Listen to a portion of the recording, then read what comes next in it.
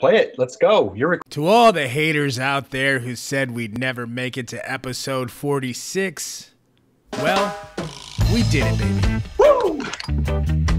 The episode starts now. Welcome to Good Vibes with Chris, Dean, TJ, and friends. Fuck the naysayers. They don't mean a thing. That's right. On this week's episode, we have Guys, we have a lot. Have a lot. I feel like we have so much that to make sure that we cover everything, it's just me and Chris today. Get it all in. That's all you want. Let's be real. Yeah. So, right off the top, we're going to be discussing what is our favorite cereal for Troy time. and then and then we're going to talk about NBA playoffs, man. It's I'm so excited, dude. I saw that highlight I sent you in the thing. I, I'm Crazy. I am stoked. Also, Saturday Night Live, uh, the Michael Che show on HBO, uh, Woman in the Window. We're also going to do a deep dive into Jorge's Instagram feed since he's not going to be here. We can critique it without any sort of explanation of what's going on. I love that. Love that. Uh, and then, uh, you know, We'll, we'll Probably sprinkle a little Troy in there somewhere. I'm sure he'll show up. and uh, just a, a little bit more cereal talk, probably. at the So bottom of the funny. We I actually had that conversation at dinner, and it reminded me of that. Uh, we had Can't talk about. I, I just saw a bowl of cereal. One of the kids had a bowl of cereal, and I was like, "Oh, it's time." yes. Well, uh, we had cereal. a. Okay, so Saturday was my niece's 18th birthday. To all the haters out there who said we'd never make hit- it Yeah, I hit pause. 46. I don't know. Well, whatevs. just close it. Close it. Yeah, yeah, yeah, yeah. So we'll listen to a little bit of that again Starts now. because it won't. It won't. I, I paused it and I you tried to cut. turn it off. I could have stopped my Can't share. Yes. No, no, we're good now. We're good now. Sorry about that, guys. Okay. little technical difficulties. I'm new at this. Uh, but yeah, so like we it was Saturday was my niece's 18th birthday, and uh, so we went to celebrate. We went to uh, an amazing uh, Tex-Mex Tex-Mex restaurant in town, uh, Anamia's. I don't know if you've ever had a chance to eat there, it's really good. Uh, but this one was in McKinney, but they're they're all over the place. Um, but uh, so the guest of honor, my niece, had like uh, you know birthday activities all weekend. so she, I guess, like uh, you know, just like a true boostos that she is, uh, she maybe went a little too hard and was just too tired and passed out in my mom's bed. So she wasn't even at her own birthday party. So Oh man, I've definitely. Uh, I can relate to that with my brother, who yeah. maybe a couple of years ago, and now he he's a grown ass man in his thirties. That's good. Uh, did not show up to his own birthday. Yeah. Yeah, I mean, I did saying, that. I'm on the way. I'm on the way, and you just didn't show. and just never, never, never showed up. Yes, uh, I did that on my, I want to say 19th, maybe was it my 19th birthday? Uh, one of the most epic parties. It's like one of those like parties that you see in movies. Like the, it was like our version of Project X, if you will. It was in our apartment, Oh. and uh, had way too many people in that apartment. A lot of lot of craziness that went down, um, and I was not, I was not present. You know, I was there, but I was unconscious. I was asleep. Uh, I passed out before anybody got there, and uh, I heard all of the epic tales. So I don't really know. If, like, it could have been a boring party, but It wasn't. all the stories, all the, the the legend that was my birthday was was. It sounded like the most epic party that I like. I've never been to a party like that because I was. I, yeah, I was at that party and I was awake the entire time. I was the only person that lasted the entire time. and I would say that for Chris's 19th birthday, more stuff happened on that night than like an like an entire catalog of uh, teenage house party movies. Absolutely. Absolutely. Like easily, easily uh, made into a movie. Just it was like, oh man, I don't want to talk about all the things that happened at the party. There's some Um, highlights though. There's some good highlights. I'll Uh, never forget it. And there's and I'm shocked that I even remember it. But Yeah, there's wa- so much stuff that happened. It's unbelievably. yeah, I woke crazy. up the next day with with birthday messages written all over my body. Uh, and it was great. It was awesome. And so that that definitely reminded me of it, you know, uh, what happened. But you know, during dinner, like, you know, it was funny. I posted a video on our, our, our Snapchat. Us, we had the birthday cake come out and everything. We sang happy birthday to her, even though she was not there. Uh, so it was a, it was a blast, you know, it was really fun. But the dinner conversation towards the end of dinner got on the, I don't know. I think my dad brought it up. He had a Troy time moment and it was just like out of the blue, started talking about cereal and was like asking the table what everybody's favorite cereal was. So it was a very surreal moment. I can definitely see your dad coming up with that conversation. Yeah, yeah, yeah, yeah, man. He's uh he's That's good stuff.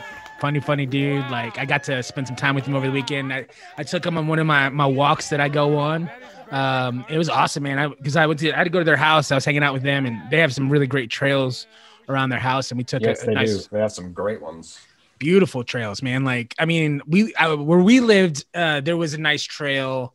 But this is like even even better. I mean, there's like beautiful benches everywhere. There's like cool Yeah. little like tables you can sit, sit and have like a picnic at if you want to. And then just the trees. Oh my god, the trees are so beautiful.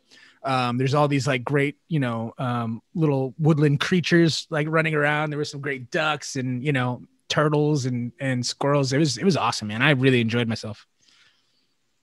Bobcats, coyotes, yeah. snake, Texas rattlers. I've heard that. I've heard that. It is it is, you know, it is a, a suburb, but you know, it is still Texas. So you do have to deal with the elements. Bobcats, man. Be eating chihuahuas and not rabbits. That's right, man. You gotta watch out for for uh like hawks too when when it comes to small animals like that. So you wanted you wanted to go ahead and start off with the playoff picture, the NBA playoff picture. Yeah, I'm gonna share my screen. I've got the tournament bracket. ready Okay, I'll stop sharing go. mine. Yeah, man. I mean, I'm very excited about the playoffs. You know, I've been kind of keeping an, one eye on the NBA, one eye off it, kind of a deal throughout the whole season. But I was kind of just gearing up for this. Uh, I just feel like you know, w- one of my favorite things that happened in the NBA over the last couple years was the bubble basketball, and so uh, I felt like this year was kind of like a um, a little bit of a back to normal. Uh, it was a little different still as the season went on. You know, uh, as the season progressed, you saw more and more people getting into the stands. Um, but it just wasn't. It, to me, it just wasn't the the uniqueness, the unique factor that was bubble basketball. And so, it kind of uh, my my interest kind of waned a little bit. But now that we're getting into the tournament, we're getting into playoff basketball. This is where it gets super exciting. You mentioned it, I think last week or the week before, how there is a play uh, play-in games uh, this year, which is something that they've never done before. There's been some critics uh, from you know from LeBron James to Mark Cuban and even Luka, um, but we're here. We, we, we know exactly who are playing in these playoff uh, these play-in games. Fucking exciting. Yeah, give me uh, participant screen sharing. Oh, did I not? I apologize. That's all right. Uh, there you go. Yeah. So, So- uh, go ahead. Yes. So there are big critics, and basically the critics are any team that has to play in the playoffs yeah. in the play-in tournament is a critic of this thing. Yeah. However, now that uh, we kind of know who's going to be in it, and it's not the Mavericks, Yeah. like I was, I was, I was really worried that the Mavs were going to have to. I was too. We were slipping a little bit towards the end there. It was gonna, but it was shaping up still to be like a, a cool tournament because you would have had the Lakers, the Warriors, and the Mavs playing for uh, two, the two bottom seeds in the playoffs. Yeah. So the thing, uh, so this is what it looks like. This is what happens when I let you in. You son of a bitch. I let you in the room and this is what you do to me. Nice. All right. so, so My bad. So okay, so on your All right. screen at home, guys, we're looking at the the play in and the, the the the brackets that is the the NBA playoffs. Yeah, and uh, So you just take us where you want to start out. okay, so let's just start with the play-in.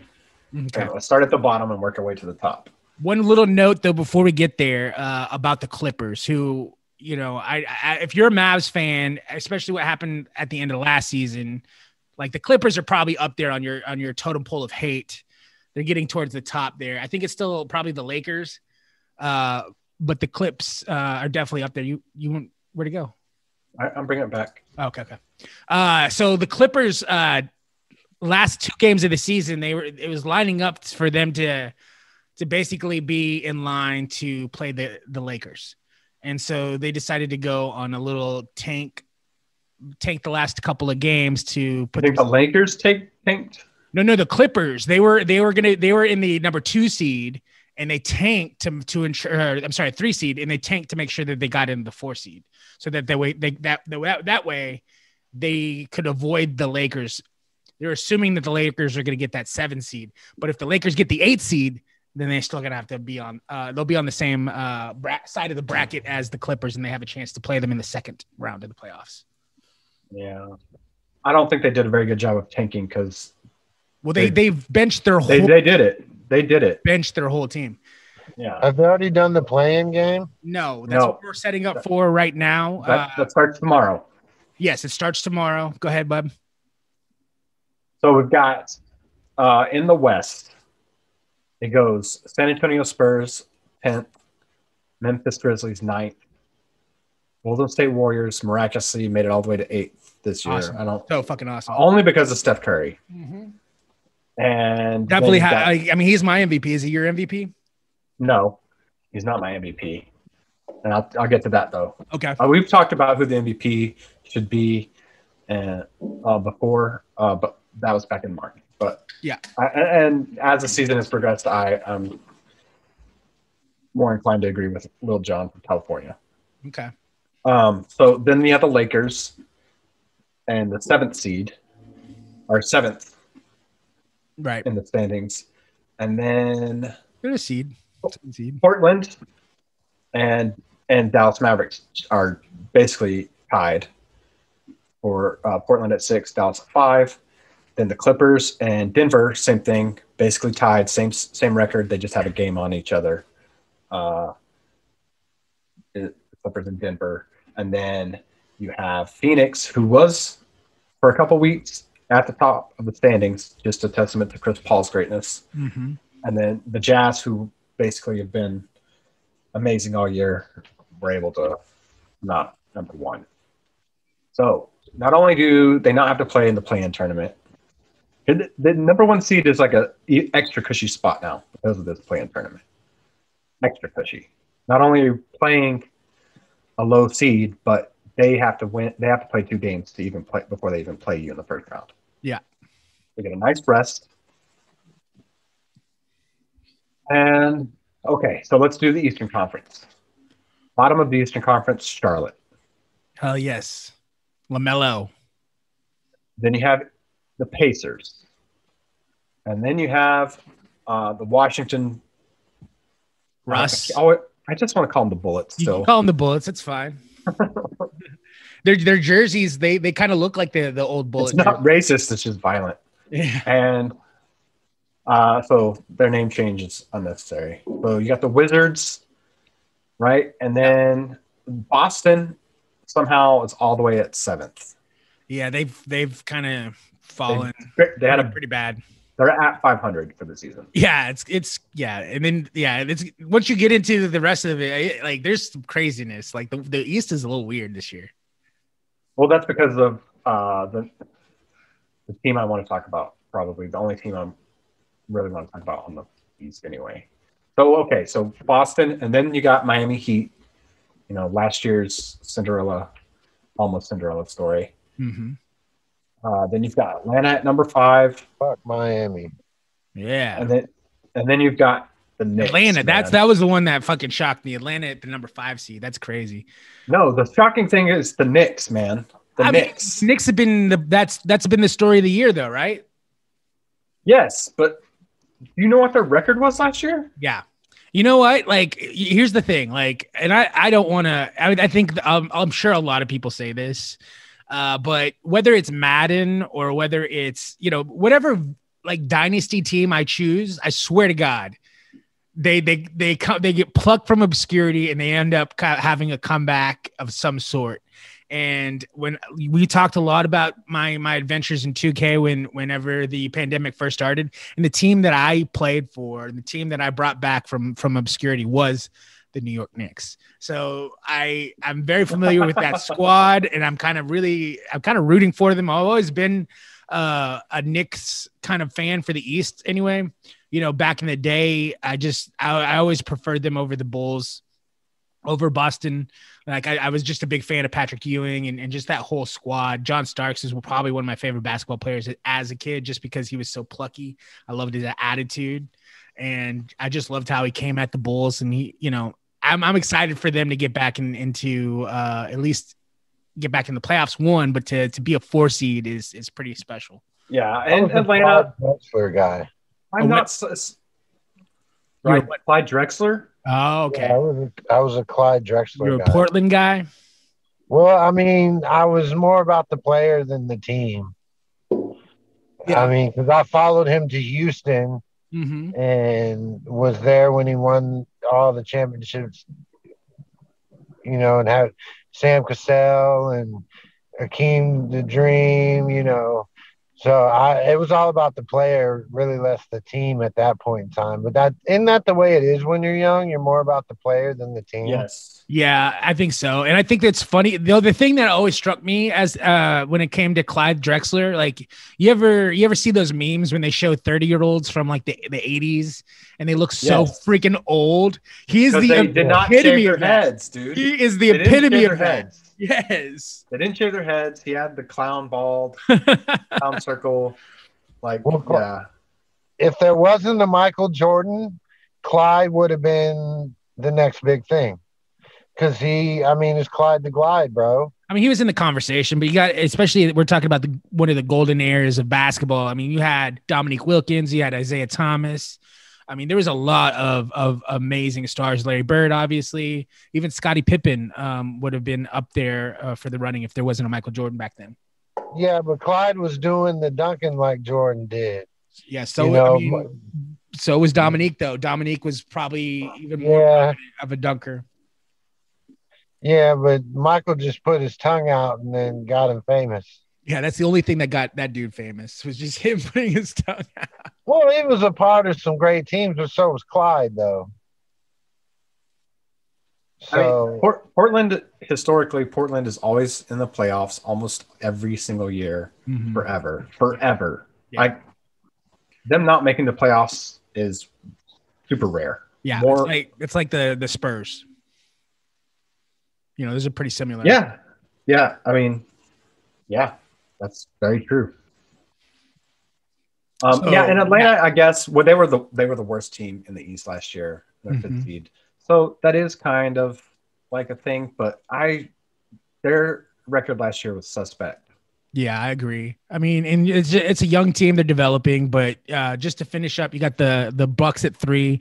You got Brooklyn, who is looking.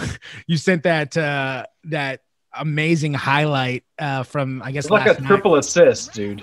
Yeah, I Like mean, every every Brooklyn net, it was the coolest, slickest play I've seen, and it's right before playoffs, and every single player on the on the court had something to do with this mad mad jam. Yeah, it was definitely uh, like Harlem Globetrotter esque. It was amazing. And then obviously the front runner in the East all year, uh, Joel Embiid and the the 76ers. Yeah. But uh, yeah, man, I I'm very excited. I think what are the first two games? Uh, what's the TV schedule? Okay, so you got you got the plan starts is tomorrow night. So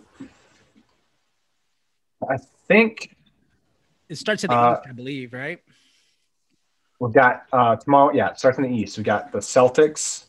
Actually, no, the first game is going to be Pacers and, and Hornets at Yes. um, seven thirty. and, and my pick is is you know I know the Pacers got a pretty good they got a pretty good squad.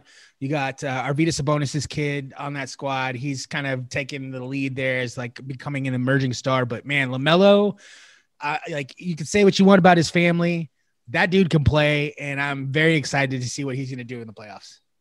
and he's back from Yes. injury that he probably should not be back from yet. Right. I- and the the game that he had against his brother, I thought that was so exciting too. That was a couple weeks, uh, I guess a week ago or two, uh, on Mother's Day. Uh, they got they got to play each other for the first time, and I thought that was really fun. Did you ever see the? There's a YouTube video that has like a whole breakdown of what exactly that high school team accomplished. No, I have not. Like I can imagine. they- all three of the, I mean, they, they all three played on the same team. Yeah. at- Oh, yeah, in high right, school that's in right. California, He was the youngest. And- but, uh, yeah, but that and I think he was a freshman. because he played he played as a freshman. Yeah, yeah. hmm and um, they, and then it shows who they played against. Yeah. uh, like you did, like you're like, oh yeah, the high school team went undefeated. Great. Okay, they weren't. They didn't just go undefeated. They blew out every other team in the nation, Yeah. like the number one teams.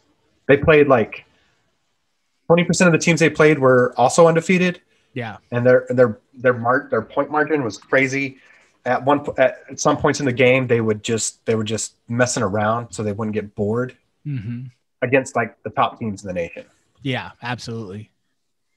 And then that's not even counting the A the AAU teams uh, that he played for too. I mean, Yeah, Yeah, like he's um, been surrounded by talent, playing against the top talent, and the fact that he made it here though is, I think, is pretty special too, considering who his father is and all the f- weird bullshit that he made him do, put him through, uh, playing overseas, doing all that weird stuff, uh, not going to college. Uh, just to make it here and to have the impact he's had on on the the Hornets this year, I think has been pretty cool. And I love that they went back to their old kind of logo and and I you know their old colors. I, I think that's that's that's great. I love that. It's giving me very Uh, ni- 90s vibes for sure. I just hope he keeps wearing Big Baller brand shoes Is he at really? some point. No, I don't. Like, so. bring him back. I mean, that's Yeah. it's so silly. Like, so silly for him not to take a shoe endorsement deal. You say that, yeah, but you know, it's funny though because like even you know, as as as many problems as the Big Baller brand has had, I mean, we saw uh Zion in college blow out a shoe like a Nike, like so. You know, I don't know. That happens all the time. Yeah, it's crazy though. like, the, is so there any sort of like? He's no, just so no, big. wait, Is there sort of? Is there any sort of like contention? Like, oh, that wouldn't have happened if he'd have been a Big Baller brand. Yeah, if you no, if he was in Pumas or No. Adidas, like he would have been fine. anything. No, any any shoe, any shoe. You put that much pressure into any shoe, it Yeah. will explode on you. That's that is insane. And it's happened work. before, and it'll happen again. But Yeah. yeah, that was that's still stuck in my memory. You know, Yeah. him just having a total foot failure. I'm sure their marketing guys were just like, "Oh my god!" It was like you could just play the meme from uh, Tiger King that we were talking about the last week. I'm never Yeah. going to recover from this financially. uh, but what uh, what what play-in matchup are you most excited about? I mean that that's that is the first matchup um, on the I same. mean, it's it's there's a reason that it's the last game in the play-in tournament, and it's Yeah. the See, Lakers just- versus the Warriors. I can't believe they're playing that so late. I know it is a West Coast team, but you got to move it up a little bit, right? Like, it'll be on, it'll be on Wednesday at nine. yeah, That's it's just, just a, that's a regular West Coast. I know, man. It's so crazy. You would want. I would. I would think that you'd want to uh, flex that and put that in the in the prime time spot, though. But you know, the West. What is? I'm sure as far as like, um, you know, mar- markets in the world. You know, obviously California's up there.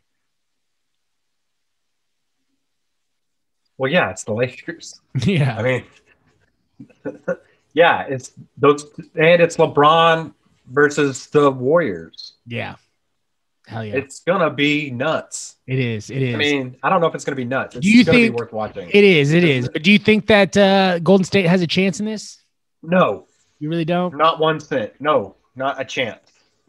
If they, I, I mean, uh, realistically, Yeah. Do I want the Lakers to get eliminated? Yes. I think it would be amazing, amazing. However, Yeah.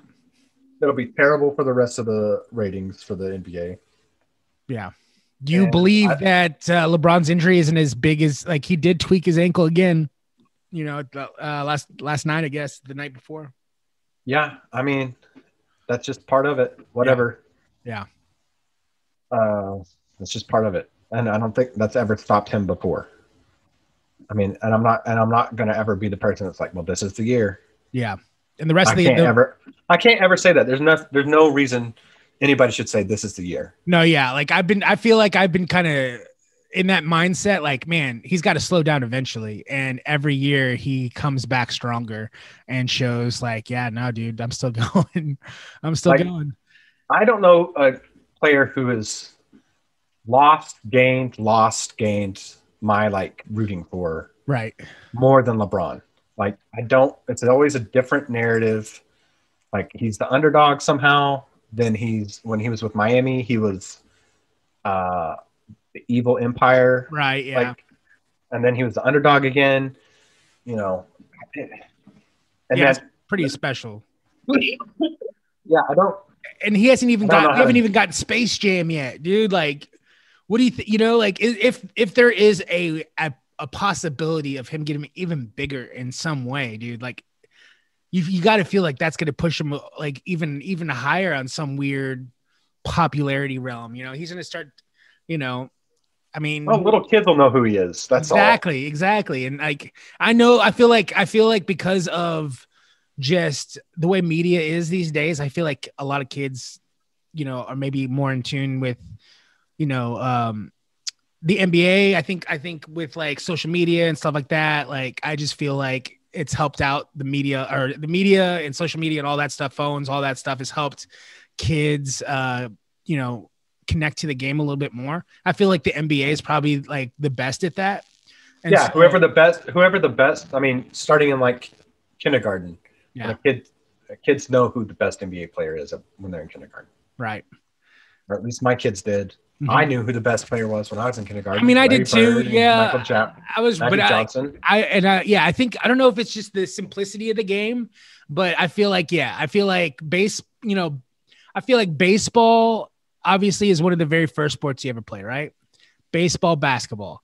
You know, I think football is a little bit more complicated. I think that maybe that's why not as ma- and I and I don't want to talk myself into a corner here, but I feel like not as many uh, women understand or get it or like it because it's such a complicated and weird game.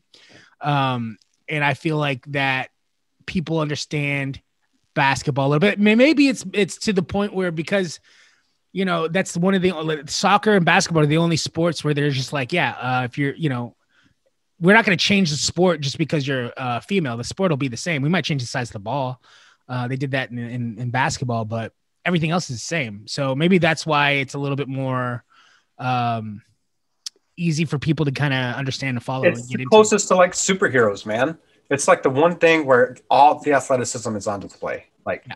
Oh, that's the guy's the best because he's faster than everyone else. He jumps higher than everyone else, and he has more power than anyone else. When you see someone, there's no. It translates right into that guy is awesome because there's no denying an awesome slam dunk. yeah and You that's know, like, that's why you- i love that. the See, like I'm gonna take this ball. Little kids can't do that. They're just like, holy cow! I want to do that when I'm big. Like I want to. I, that's I how wanna big be I want to be when I grow up.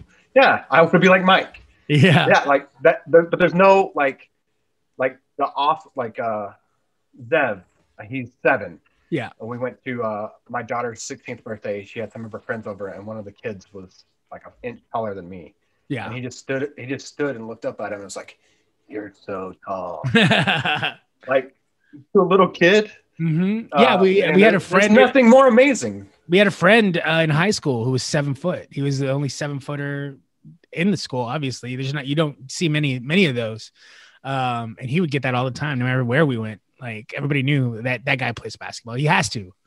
Um, but yeah, when you mentioned superheroes and how you could see their athleticism pretty easily, that's one thing I love about um, you know, China and the way that they follow the game. They all have they have these like special nicknames for all the players, and it, it turns them into like kind of like superheroes in in, Yeah. in that in that way. I think that's pretty cool.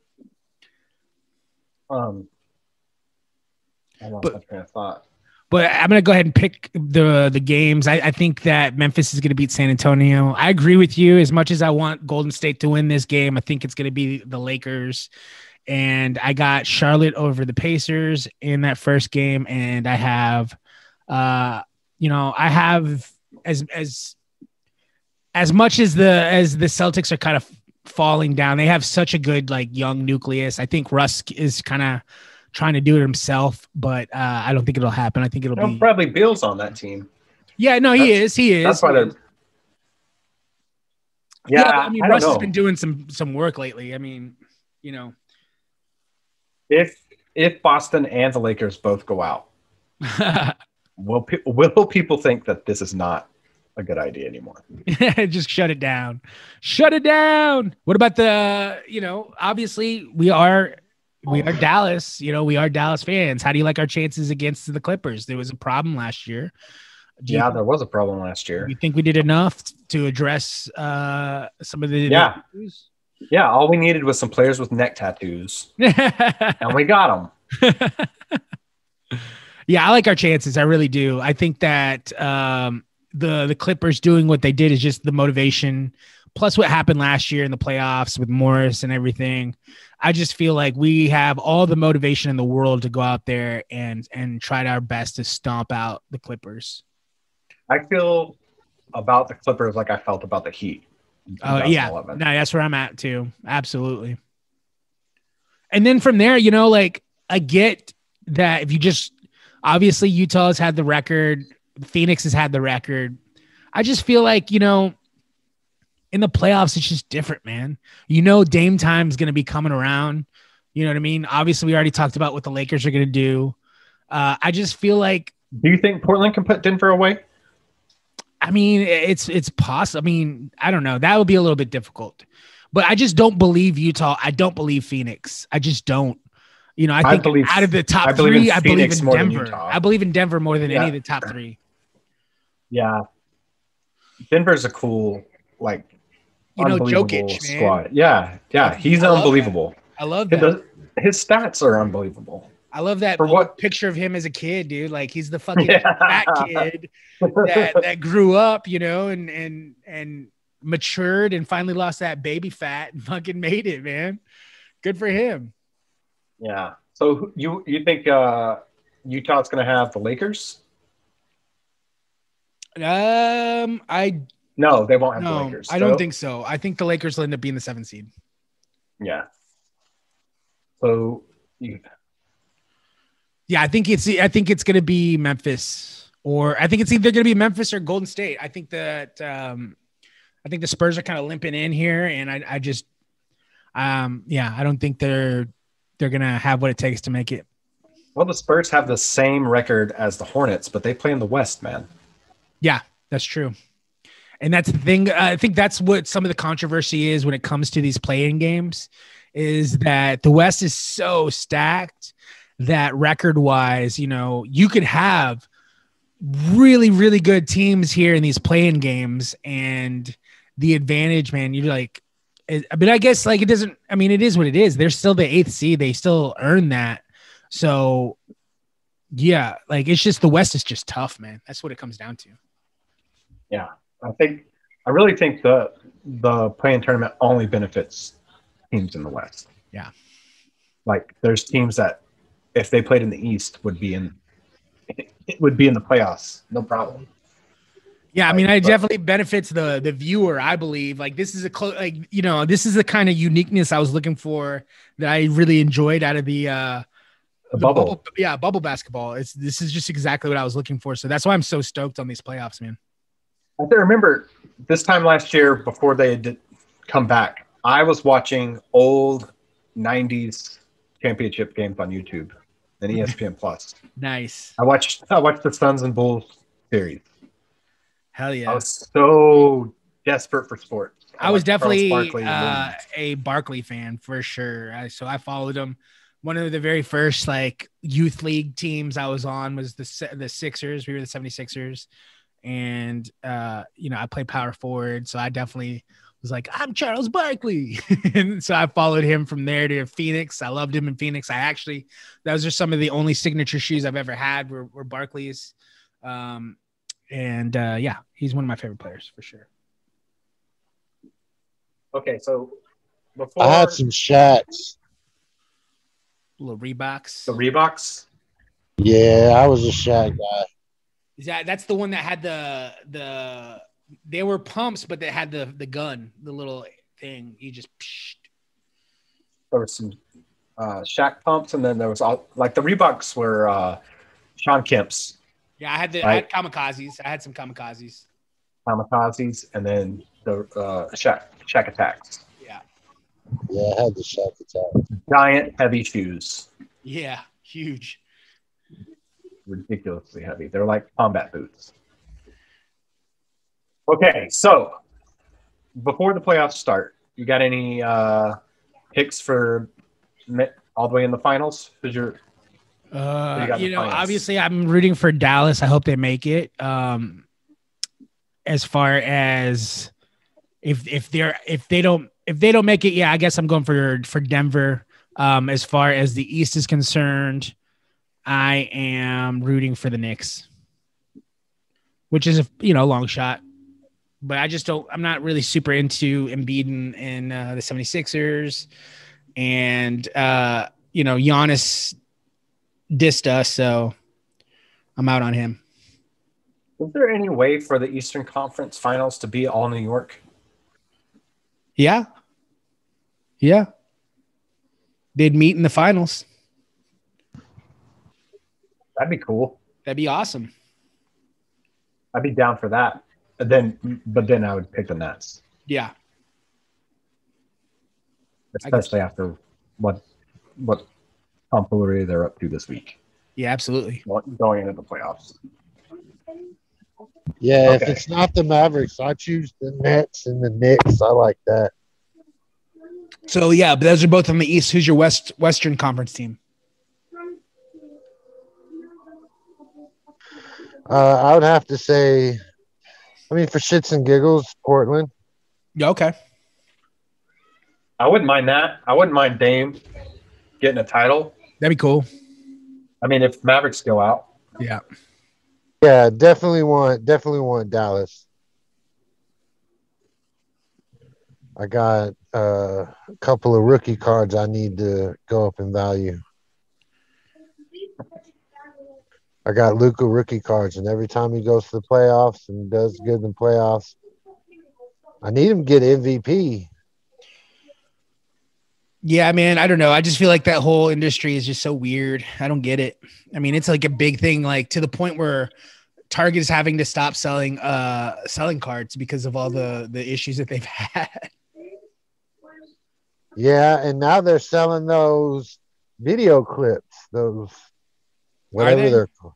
NF- Yeah, They're selling NFTs. NFTs. Yeah, man, people are paying like two, three hundred dollars for an NFT, Mm-hmm. and those are the new sports cards. I'd like to. I'd just like to put uh, everyone up to my Dave and Buster's limited edition Spock card. Nice. Does he have a goatee in that one? Yeah, this is alternate universe Spock. Whoa, that's crazy. That's probably worth some money. I doubt it, bro. It's from David Buster. Uh, It's not worth anything. It's about it's worth about three tickets. I don't know, man. a sucker, a sucker is born every day. Why'd you sell it to to Troy? I don't do Star Trek. I've got some other ones that were given to me by uh, the boys because they're like, "Oh, Dean likes Star Trek. We'll give him. We'll give him these." that's awesome. Kids are so fucking cool. Yeah. That goes up next to my Wookiee and Golden Grenade and stuff on my little desk display. Speaking of kids, I just want to give a shout out to my kid. It's her fifth birthday today. Awesome. It is awesome. oh, happy birthday, Ray Also- Ray's birthday. Ray Ray Wyatt, friend of the show. He you hear him every time on the. Yeah, he's a bit. Technically, he's appeared on every single episode. That's right. Yes, Well, happy birthday, Ray, and happy birthday, Ireland. that's right. Happy birthday, Ireland. Ireland. Yeah, I had to do it, man. I needed something to rep my place of uh, uh, beginning. Yeah, well, I mean that's what you say, but I, I mean, until I see uh, 23 and me, I don't believe it. I've got a coat of arms at the house. My dad did it. That's fine. I, I made a coat of arms in elementary school also.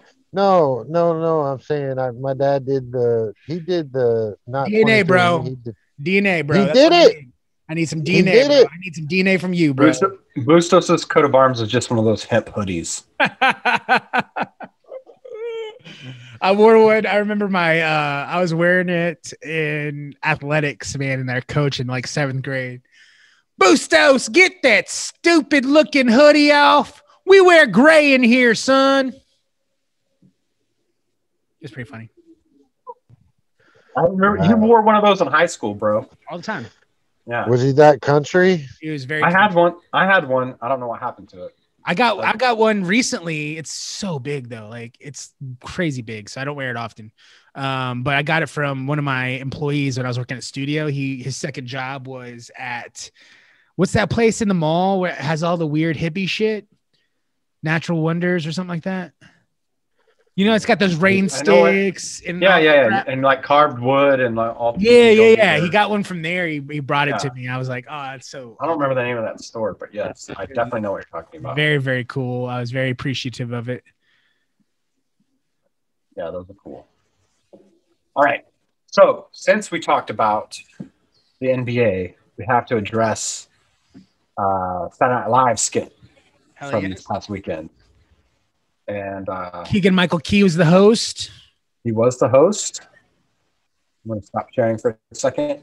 All right. So Keegan Michael Key was the host. They did this skit that was basically the an extended scene from the Michael Jordan documentary, uh, The Last Dance. Yes. Um, Probably one of my favorite scenes in The Last Dance. It looked like they did some uh, they did some um, deep fake technology a little bit for uh, Keegan was uh, was uh, Michael Jordan, um, and uh, Charles Barkley was played by Kenan. Uh, Chris Redd played um, Dennis Rodman. Um, and uh, and then really, I think I can't remember what's the name of her. Like, I, like I can't remember her name. you she's pull it one of the, she's one Yeah, of yeah. the um, features. She's really, really good. But she's not a feature anymore. oh, She's, she's a not cast featured. member. Okay, great. She's awesome. Uh, Yeah, she but is one of the most heartwarming, I guess, uh, parts of the dance uh, was this relationship that Jordan had with one of the um, just the, It's the security guy at the at the stadium. yes One of the usher people. and he's just one of those weird people that you meet in life that are just like just different man. He's just unique. He had like real weird curly hair. He had a mustache and glasses and he was just like a unique dude. And like they would bet each other by playing this game where they would throw a quarter and try to get it closest to the wall. And uh, it was after the the famous game where Jordan hits the game-winning shot. Quarters, man. Yeah, he throws his shoulder shrug up, and they recreated it, and it was just absolutely insane. It was so good. It's very good. Wanna give- Um, You gonna do sound or I just? don't, I'll do sound some parts of it, not this part though. Yeah, yeah, yeah. So I, I'm going to. Uh, I got to look up her name. For some reason, I cannot think of it. I follow her on Instagram. Yeah. Uh, There it is. Michael Jordan. yes. These pleats. That's a sharp pleat. All right, come on. They wouldn't even fit you, man. Come on. Let me win them back. Let's go. You want to win it back? And for the pants. Oh. Yeah, you tripping, man. Where is where to go? I lost everything once. Okay, one more time. Let's go. Let's go. Come on. One, Man, two, I got nothing left. I Have your wife. No, no, That's... All right, let's go. Come on. Hey, don't be like that because it's just one night. And he's. Hello? Oh, well, okay. Well, she hung up, so it's official. I'm in the doghouse. That's good stuff, bro. Good stuff. They, yeah, mean that's awesome. I'm glad that they came back strong. yeah, that was a good. Um, that was a good episode. Yeah. Altogether.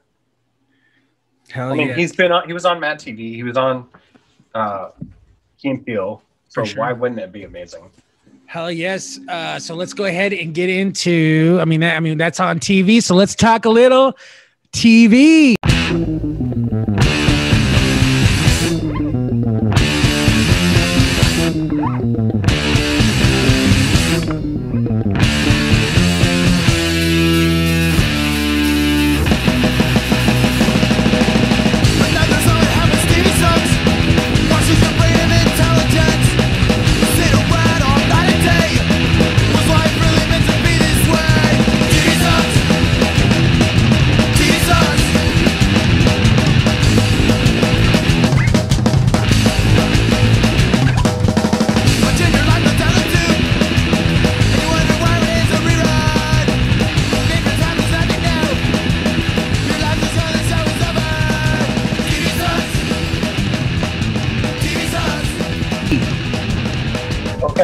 Stick with Saturday Night Live writers. Okay. Uh, one Saturday Night Live writer, also produced, executive produced by Lorne Michaels, is on HBO Max. It's called Damn Michael Che. That's Damn Michael Che.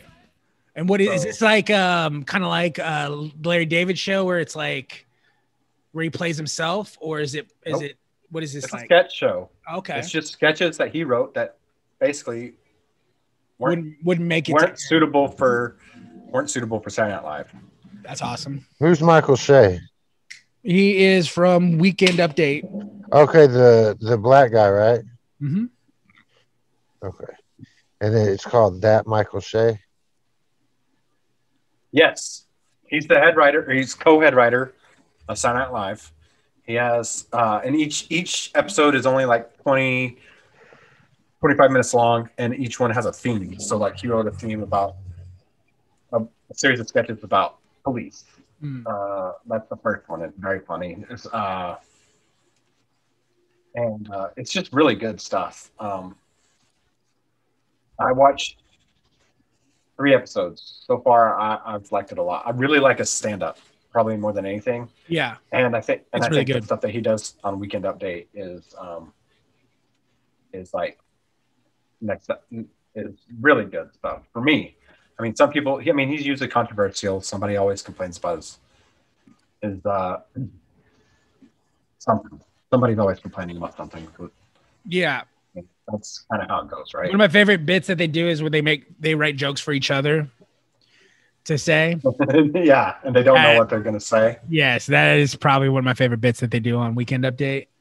Um, but yeah, I'm a sucker for st- skit comedy, so I'll definitely check it out. Um, I know that we, obviously we're big fans of Saturday Night Live. What are some of your favorite skit comedy shows of all time? Well, I mean, is this going to be the top three? No, I shouldn't be. We'll just talk about it. We'll just All talk right, about so it.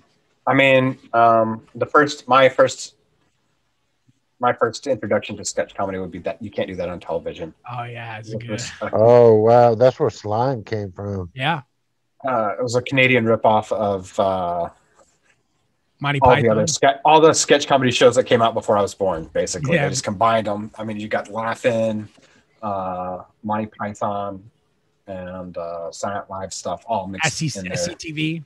Yes, SCTV. Um, and I'd I say Kids in the Hall is probably one of my favorites. So one of my my my all time favorites. No, they're, they're having a revival. I've heard that. It's on Amazon. It's going to be on Amazon. Nice. All the original cast is going to be back. It's going to be different.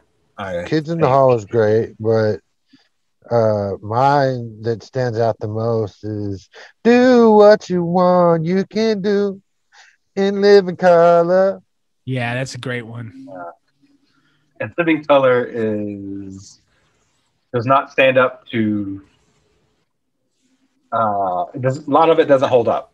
I haven't. Yeah, that's something I should do is go, go back and try to watch it on one of the. Is it on one of those? uh Mad TV has the same kind of. Some of it doesn't hold up too. And Yeah. and Saturday Night Live. I mean, sketch comedy is It's it's it's topical. It's especially dated. the especially the more improv it is uh or character based so mad tv i think uh, or in living color i think in living color was like just like have a character and we're going to do the crap out of the character uh Yeah. I feel like like homie the clown uh fire marshal bill Oh, Let yeah. me tell you something.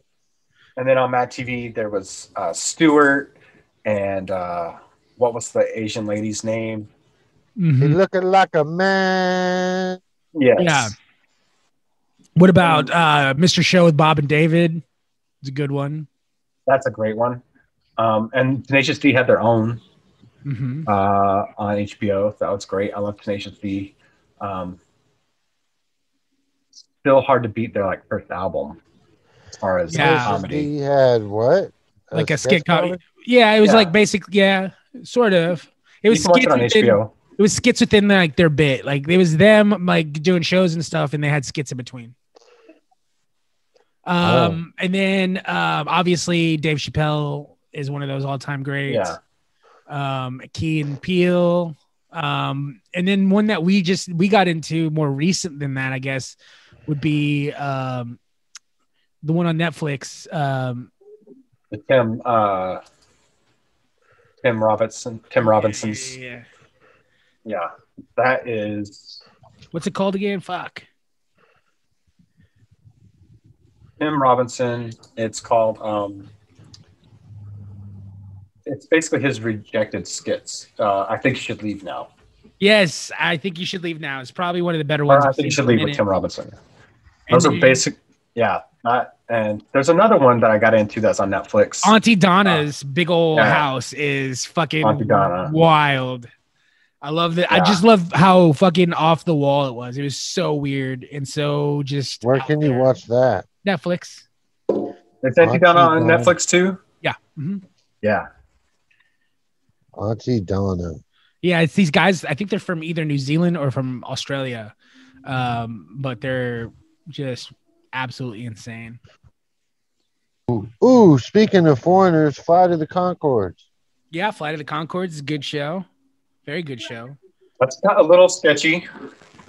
That's got some uh, sketch elements to it. Portlandia. That was a weird. Portlandia. ass- I love Oh, Portlandia. yeah, I love Portlandia too. I'm a big fan of that. And then I guess, well, no, that's more of a parody. But documentary now is also Very, amazing. very good. Very good. Like there was the one- go to to I was watching for a documentaries is crazy. moment. I don't remember what channel it was. It was like obscure as fuck, and it was uh women. It was a bunch of women, and it was really funny. I just can't remember what it's called. There's a black woman uh, sketch show or black lady sketch show. Yeah, on uh, HBO. I haven't seen it yet. I wanted to check it out. It looks really good. Um, Nick you Kroll. I Kroll show. Kroll Show, yes. Kroll Show is awesome. I love Nick Kroll. He's a funny motherfucker. Absolutely. He's Speaking weird. of Uh, speaking of funny and like kind of off the wall, I I can't recommend enough to anyone and everyone. Nathan for you with Nathan Fielder. It's not a sketch comedy show. It's just amazing. You've seen Nathan for you? I don't know Have if you I, seen this. Chris? I don't think so. Uh, After these messages, we'll be right back. Blow the whistle! Blow the whistle! Blow the whistle! We like to party. You're listening to A Good Day for Football with Chris Bustos, Nathan Bedard, David Kroboff, and Troy Warren. Alfonso Noon is a guy who falls in the bathtub and bites into bubbles. Hi, I'm Andrew Luck. I like both. Let's go out here! Yes, Oh! Hey, Oh! dominate with compelling. you can be the cover girl. Oh! he's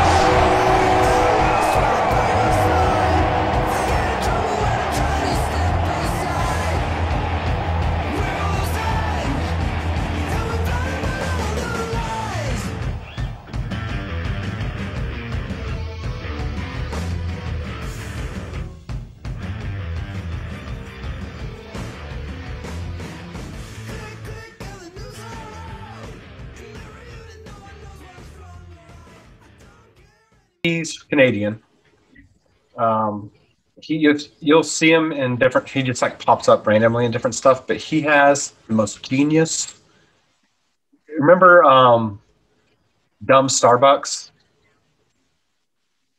Remember whenever somebody started a store called Dumb Starbucks and went viral, No. and like, yeah, well, it was part of the show he was making. Okay. and so he basically he he does this thing where he's like i graduated from a business school and i'm using my degree to help small businesses turn their businesses around so he comes in on the premise of like a bar rescue or something like that Yeah. Yeah. and then he pitches absolutely insane insane ideas to these small businesses and they uh and he and if they say no to it he goes fine i'll just do it on my own and do my own business. so, so that happens a couple times uh the dumb starbucks one was he's like look everybody knows i mean you guys are going to go out of business because you're not starbucks and he goes so what i'm going to do is i'm going to use parity law so that you can have all the starbucks stuff we're just going to put dumb in front of it I love that. and he started this in L. He started a dump, so he opened a dumb Starbucks in L.A., trained everybody, and then it just like word of mouth got insane, and then there was like helicopters flying over it. It was like the first the news pop- all covered it. Yeah, and he ended up going on Jimmy Kimmel like this that week that it happened. It went viral because everyone found out about it before the show came out. Nice. And so he had to talk. That just became part of the show, like this thing. He's genius. He's super deadpan. Um, Hell yeah. you need to watch it. Like, get off when we get off tonight. Go put on HBO Nathan for you. Okay. All the episodes are on there, Right on. And you'll cringe a lot um, because he is so deadpan. Um, I like that. and the stuff he does. It's it's it's amazing. It's amazing. Um, I try to watch it with Sarah, and she's like, I can't. It gives me so much anxiety. Yeah, I love About- that. I would have those moments, you know, obviously like there's that's TV does that for you sometimes. Like I would have those moments watching The Office all the time where I'd just be like, he has so many cringy moments where I'm just like, uh, I feel so fucking anxiety ridden watching Michael in those situations. But uh, you know, I you know, I have been I haven't been spending a lot of time on the HBO Max app just because there's been so much good stuff on Netflix, and that was one that I I was flip flopped on. I wasn't watching a lot of Netflix, and then over the last few weeks, I just find myself on Netflix a lot lot more. You know, we talked a lot about. uh I guess last week or the week before, uh, the sci-fi fantasy show I was watching on there that you told me about. Um, On Netflix, yeah, yeah, yeah. Uh, the bone, uh, Shadow and Bone. yeah, That was so fucking good. And so that's what kind of started me on there. And then I just found myself on Netflix a lot more lately. And I just watched um, the new show with Ewan McGregor. And yeah. I did not know Ewan McGregor was on that show when we talked about it. What's the name of it? It is Halston. And it's about a designer that rose to prominence in the late 70s, early 80s. Started as a hat, uh, like a hat maker. He made Jackie O's, uh, you know, famous pillbox hat, and then went from there and uh, started designing clothes and stuff like that. Oh yeah, that's a good launching point. Yeah, I make clothes for the, the most famous first lady of Basically, yeah. And he just went from there, man. And he like some of the most famous, you you will recognize some of the designs if you watch the show. Um, you know, but you you know, it's it's uh it's just it's interesting. It it it doesn't dive like some, you know, especially when you get into um biop what are you biopics? Uh you know, sometimes Biopic. when you get into biopics, especially about uh, a game, definitely focus hardcore on like the AIDS aspect because obviously that was a big part of it. Uh, he had it, but they didn't like it wasn't the focus. You know what I mean? It w- Yeah. Uh, they just they focus more on his work and uh, the people that he shared his life with, and one of those uh, people that were just basically one of his best friends um, was was Liza Minnelli, and the actress from Knives Out that played. Uh, have you seen Knives Out? Yeah. Yeah. Okay. So the one that was like the the nurse maid. That's a good Yeah, fit. yeah. She plays Liza Minnelli, bro, and it is insanity. She does such a good job. Holy crap! So I'm good. gonna start watching it. yeah it's sure. it's very very good I, I don't know i've always been like a fan of of i you know designs and art art in general and so i just found it really fascinating really cool um and just that time period i find super fascinating the late 70s early 80s was a very cool uh, time it was wild so there's a little studio 54 stuff in there and just the fashion and everything is really really really awesome and he just does such a freaking amazing job uh, with the role uh, but yeah, yeah, good, good stuff there. And then um, just kind of right before we hopped on, something that I've been really wanting to get into, just because one of the things that I loved about uh, Knives Out was the cast. Like it was such a good ensemble cast, and I love a great ensemble cast uh, like movie. And one that's kind of been catching my eye that I just hadn't had the time to sit down and watch, which I finally did, was The Woman in the Window. And this is Amy Adams. It is um, Gary Oldman. Uh, it has um, U.S. Agent Russell, Wyatt Russell, Wyatt Russell. Yeah, it's a beard. and Julianne Moore, and um, Ally Sheedy's plays a small role in it too, and it's just got a great cast, man. And like it's done so well, it hits you like like David Fincher. It hits you like uh like Hitchcock. Uh, it is definitely. I mean, obviously, it's like it's kind of playing on the rear window kind of deal. Um, she has glorophobia, so she's stuck in her house and she's looking, looking out her window, her window, and sees Julianne Moore get stabbed. And like the whole thing is because of her glorophobia and because of her mental state. Like it's like you you kind of as an audience You don't know you're what you, you don't know what you're seeing is real or not. Exactly. Yes, yes, yes. And the more you get, the more it's like, holy crap. Um, it confuses you even more. And then there's a good twist at the end. I don't want to give it away. Uh, but like I said, I mean, you, you just even from just the images, you could see, you could definitely pick up on the the David Fincher kind of vibes. It reminds me also of like, um, what was that? Safe, Oh, safe and from room. the people that Gone Girl, it just Yeah. threw that up there on the, on the Yeah. trailer. you remember Safe Room?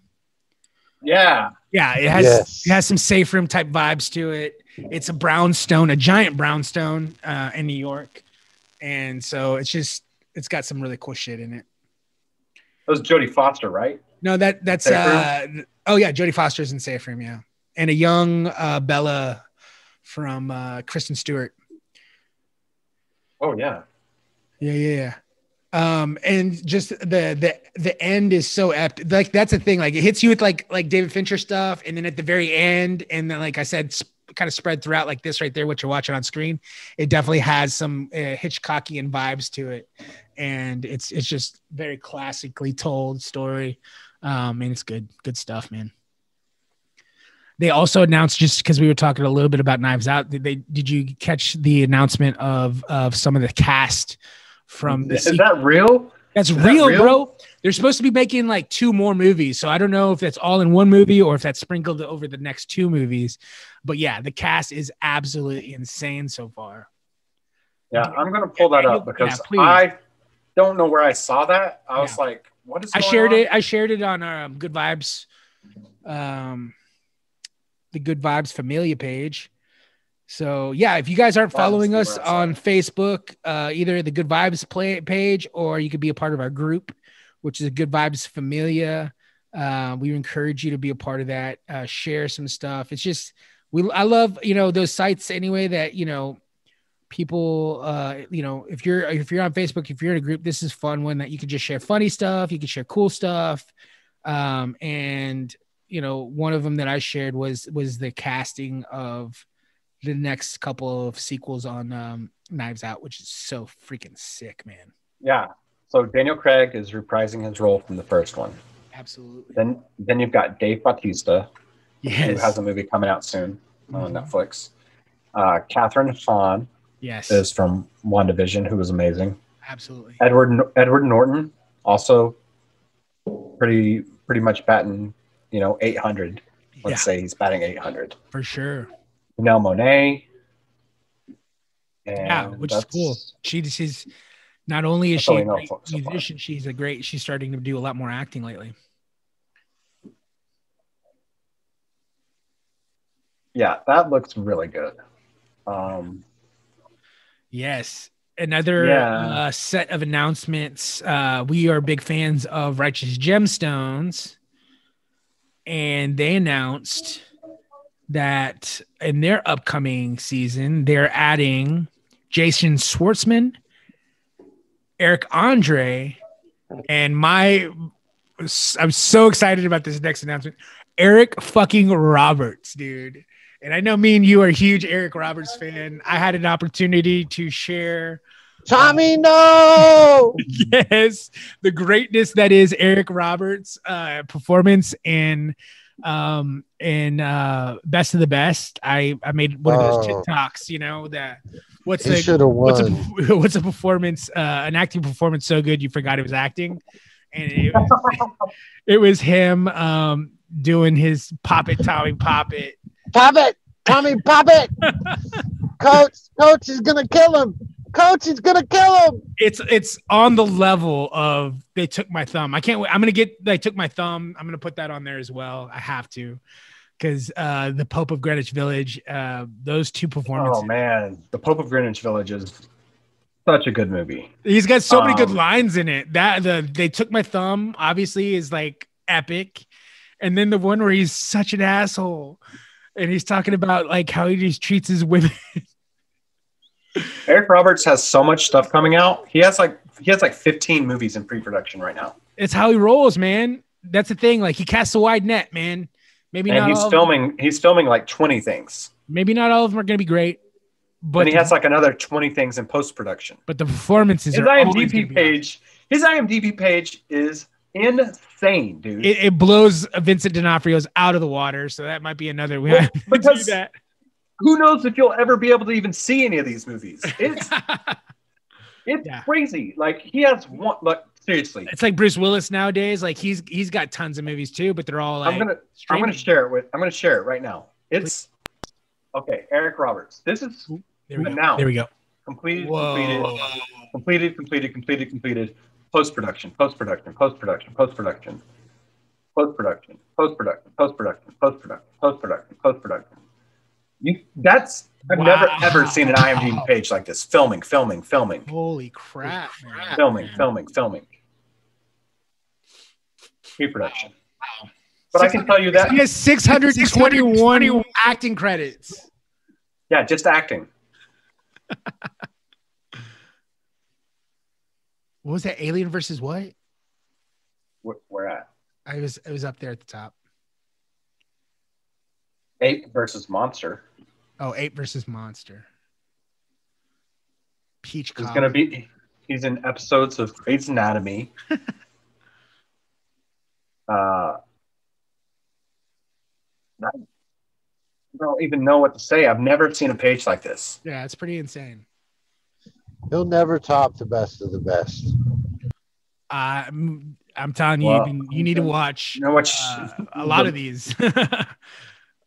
the Pope of Greenwich Village, though, because you not Yeah, not only do you get Eric Roberts, but you also get the greatness Mickey Rourke. Mickey Rourke, and it's when he's really good.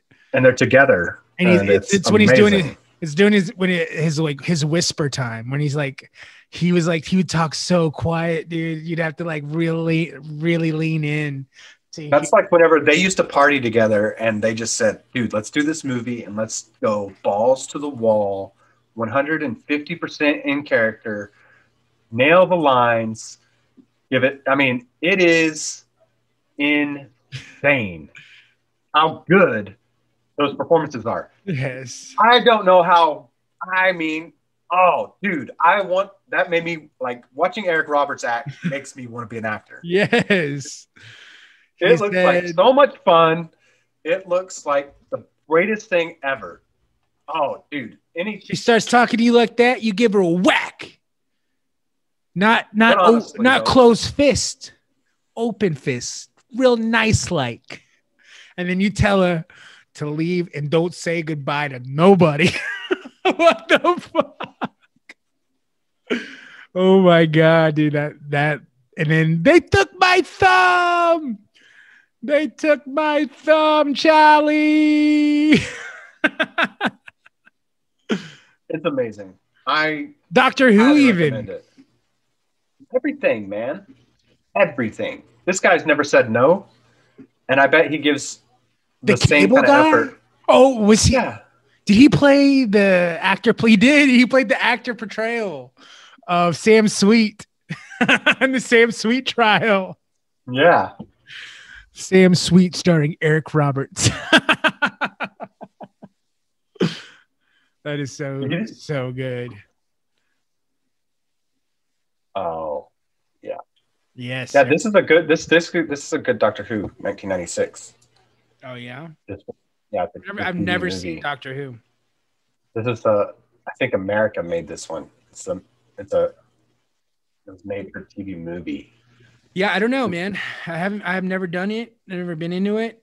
But uh, Troy, there is a Netflix show that is right up your freaking alley, bro. If you're not watching it yet, it's got Wanda Sykes in it and Mike Epps. already watched the Upshaws. Yes. Tell me about it. Yeah. Oh, it's it's it's funny. I mean, it's basically Mike Epps is the dad and Tootie from the show back in the day is the mom, and Wanda is uh, her sister. And really, it's just a sketch comedy show about him and how Sitcom. fucked up his. Yes, uh, my bad, sitcom. Um, how fucked up his family is. Yeah. Um, because basically he got a baby mama and it, it's kind of stole a friend's reference because the whole joke about that is, you know, Wanda gives her hell about, you know, how did he get away with that? And she goes, Well, he says we were on a break. And that's that's from uh, Friends. Um, but uh, so yeah, so he's got an illeg- illegitimate kid outside of his marriage. There's some weird stuff. There's the uh, in it the his daughter and his son have this weird like fake relationship. They're brother and sister, but they fake date. What? It's it's yeah, it's weird. She does a fake Instagram relationship with her half brother because nobody knows who he is. Well, then he ends up stealing a car and gets sent to the school she's going to. So a lot of weird shit happens there. Yeah, it's it's a funny show. It's it's odd. Well, I'm yeah. sure, I'm sure. I'm sure Mike Epps and Wanda Sykes have all the good lines. Uh, oh yeah, most definitely. A lot of stereotypes. A lot Fields. of uh, a gangster thug. He Mike Epps is the owner of a, a, a mechanic garage? shop. Yeah, garage, and uh, a gangster thug comes in and they start talking about don't open the secret compartment. And the kid steals the car, and Mike Epps is, Mike Epps is scared. The dude comes in, he's like, "Well, your sto- car got stolen," and he was like, "You my secret compartment?" he's like, "No, we got that." Okay, we cool then. like just some weird stuff like that. Like it's it's a good show. Um, I think you have to be in a certain type of a mind to watch. I think you got to be high to watch it because it's got some weird shit in it. But yeah, Wanda Sykes just goes off on Mike Epps. She hates his character, their characters. You know, it's kind of like Martin, Martin and uh, Pam back Yeah. in the day. Pam is in there too. She plays the baby mama to Mike Epps. No, What? that's not That Pam. is not. That is not. That's not Pam. Yeah, yeah. Pam, no, that's not Pam. It was Pam is Gina's friend neighborhood. Pam. No, that's not her. No, it's not her. Yes, it is. No, No, it's bet not. me a million dollars right now because No, because not it's her. I'm not talking about Tootie, like you said. I'm talking about his other. I understand who you're talking about. That's not Pam. Pam is in the neighborhood on CBS. She's under contract with CBS. You're talking about Gina. No, I'm not talking about Gina. I'm talking about Pam. She's in the neighborhood. She's married to Cedric the Entertainer in the neighborhood. Yeah. Don't fuck with me on my black shows, bro. I know, bro. I know you. Don't fuck with me on my black I know. shows. I know. B Rabbit. Hey, Pa- Pam is played by Dude. Tichina Arnold. Just so everyone is aware. That's her name. not- no. Troy is 100% accurate. Probably. Like he said, don't f with him on his black shows. Uh, but uh, speaking of B Rabbit, uh, one of the stories that came out, um, you know, Seth Rogen, Seth Rogen just put out a book called Yearbook, and it, I guess a lot of it is just like some reminiscing uh, about his career. It's and uh, stuff. awkward yeah, encounters. he's not. Awkward encounter. He's not gonna work with James Franco no more. that is true. We Yeah, talked. we talked about, about that that last last week. week. Um, in episode 44. Yes, yes, yes. Uh, please check it out. Uh, Troy, you too. Check out episode 44. You're on it. Um, there. So this, this, his new book came out, and one of the stories that that came along with it is that him and uh, Jason Segel actually read for the part of Cheddar Bob an eight mile, which is fucking crazy if you really think about it, man. Because like I can't imagine them landing that role. Like they're just not anywhere right for that role of Cheddar Bob.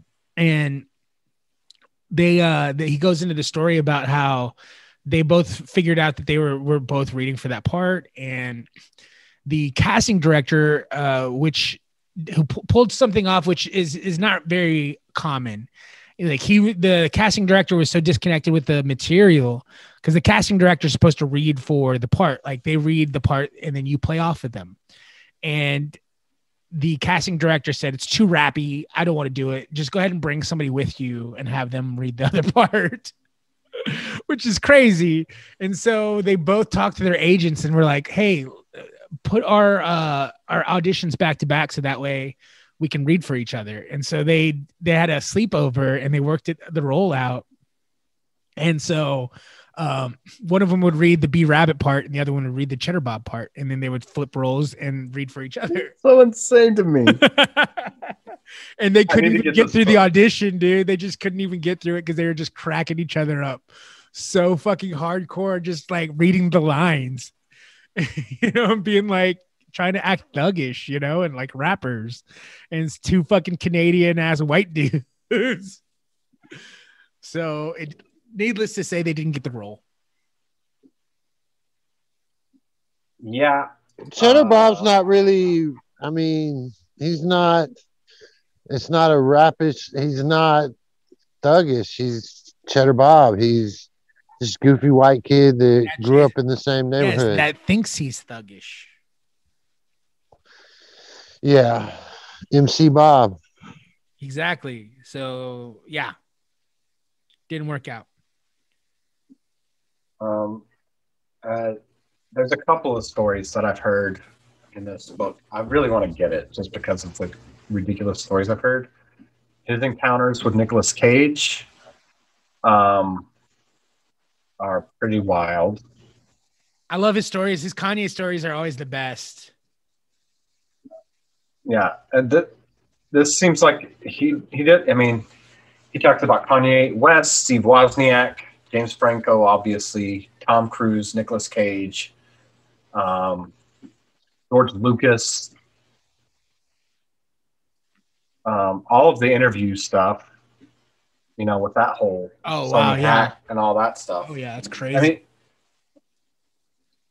it is crazy. So it's basically like um, it's like Kevin Smith's like tour where he talks about all the his Hollywood stories and he just put it in a book instead.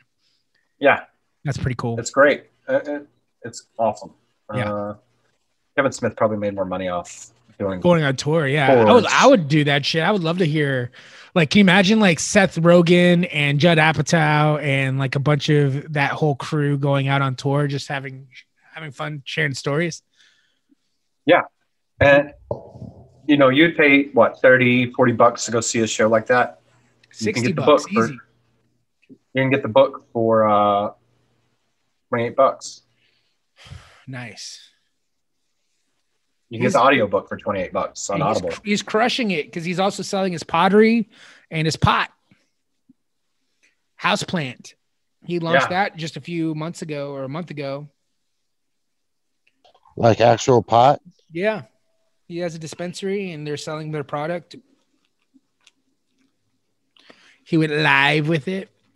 I still feel like uh, his executive producing is what's making him the most money right now. I mean, all of it is like the the, the, the stuff. Diversify your bonds, yo. Yeah, the uh yeah. Uh but like his stuff was like just like anything, you know, anything that goes viral, right? Like it like the like people weren't able to buy it cuz like like they couldn't keep up with the demand basically. One thing I do like about uh, watching his um, hobby of ceramics evolve Mhm. throughout the pandemic. Oh yeah. They're Like, they're very he's interesting. Like, he's like, pick, he's like, I love ashtrays. Here's my ashtray collection. Okay, now I have pottery. I'm going to start making ashtrays. yeah. And here, and you just like see the evolution of One of the coolest uh, ones he did Someone, was also someone learning about a something during the yeah pandemic. one one of them though that it was a lighter he did like this really cool it's basically a, like a car lighter Yeah, but- there's cool stuff on there. yeah yeah yeah Very cool. Very very cool. I guess if you smoke joints all day, you need a lot of ashtrays. yeah, for sure. I'm still not uh, part of the Green Gang. Uh, I'm still pot free, which is crazy. I don't even know how long it's been. It's been a long time. Uh, it's been longer for me. I wouldn't Yeah. even. I couldn't even tell you. I, I know. In about an hour. Hell yeah! So, uh, what do you guys watch? I know you, you haven't had a ton of time. Um, you've been doing all the the training for the new job. Uh, did you get to watch anything other than that, uh, SNL? I guess. I watched. Um, I watched a documentary about uh, the 1992 Dream Team, Oh, nice. Awesome. and uh, um, I watched another. Like, uh, can't think of the name of the movie right now off the top of my head. I watched it earlier, like right after, probably right after we finished recording last week's episode. Hmm. and uh, it was one of those uh, white people go to a cabin or a, a lake house for a weekend, and all the drama and all the secrets come out. Oh, I love that. Uh, you know, like the big Like- chill, Yeah, like the big chill. and uh, um, there's a couple. Of, I mean, there's a. I mean, it's a whole genre unto itself. It really is. Rich, rich, rich white people in their Mid 20s, thirties. Yeah. late thirties, Yeah. like uh, going to a the good one about. Thanksgiving. It was like that. It's kind of more of a comedy, but yeah, that's awesome.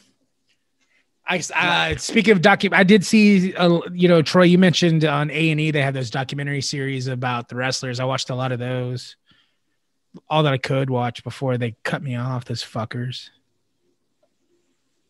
But I watched the Roddy Roddy Piper one. I watched uh, the Macho Man one. It's not anything new though. Like that's the thing. I wish it was. Um, you know, like I think that CNN does a really good when it comes to like documentary series because I've seen a bunch of them. They're all kind of different. Like they do, they did ones over decades, which I really enjoy. Um, and then they did one on comedy, which was really awesome. If you ever get a chance, Are we talking about the wrestling A and E? Yeah, yeah, the biography uh on the wrestlers. Yeah, I didn't think I, I didn't. There was nothing, no new information, no new footage. It was just basically the same shit I've always watched. I don't know. I thought that was a little bit more in depth. Uh, I, I like the Randy Savage. You, you, they really went in depth for the Randy Savage one. The Uh, only, the, I guess, the only new information was that moment in time when he had the the, the younger uh, valet. That stuff I didn't really know a lot about. Um, so that was cool, but I didn't get a chance to watch the Shawn Michaels one. That's the one I really, really wanted to watch. yeah, that's the one that came out yesterday. I'm going to try to watch that tonight. So we're going. So are we all going to suspend our peacock? Well, Troy's not. Yeah, I am eventually. Um, yeah. Why are we suspending Peacock? Because go move on to the next thing. You don't need to pay. You don't need to pay for every single streaming service every month. Yeah, I need to I need to cut that back a little bit. I need to figure We that got out. them on rotation. We got them on rotation. I need to do Oh, that. I don't, but I, you know, there, there's that app you can get where you can get a list of all the stuff that you, all your, but they want so much information. I just was like, man, I don't want to give them all that. They want too much information, like bank info and stuff like that. They want my like Oh, to like yeah, just go number and all that shit. log on to Hulu, then go to your subscript on your computer. Log go to your subscription settings and just suspend it. Yeah, no, I need to do that, but I want, I would love to get an app that will list them all out that I have already signed up for that I don't remember signing up for, without having to give my bank information away. Oh, that's how they figure it out because they look at your. I know, but that's stupid because then I don't pay for all of it through my bank. Some of it's through, you know, Google Pay. Some of it's through, um, you know, whatever. PayPal. I have I have stuff on I have PayPal. stuff on PayPal. And, and I'm like, what? I get like an email like saying, hey, uh, Yeah, and they don't tell you. It's just like approved. And 15. I'm like, yeah. what? What? And then, there's no specifics. There's no specifics. It's just like 15 bucks. That's what Peacock is. Okay. It's on. I, that, that's how I know I still have Peacock right now. Oh, okay. I, I I've pretty much tapped out on Peacock for now. uh, Yeah. until until I hear something better. I mean, I, I've watched everything I want to watch on there. So I'm gonna give it a Peacock and maybe do Hulu for a couple months this summer. I know that uh, What We Do in the Shadows is coming out. Yeah, I got Hulu. I you know I don't watch a lot of it. I, I don't even know I still have it. I guess. Yeah, I don't know. I need to figure that out. I still have HBO, obviously. Yeah, I'm gonna keep HBO through 2021. YouTube TV still doing good stuff. They just gave us a free preview of Showtime that I didn't watch at all, which I should have. Uh, Black Monday is the only thing I would probably watch on that. Isn't that Don on Cheadle. Showtime? Yeah, Don Cheadle. Yeah, I like Paul Scheer too. He's always talking about that shit. He's pretty goofy. Yes, sir. Yes, sir. Yes, sir. I want to watch that, but um, yeah. Uh, Well, let's go ahead and take a quick break. When we come back, we're going to talk a little sports. We already talked playoffs, but I'll give uh, Troy a little time to talk a little UFC. After these messages, we'll be right back.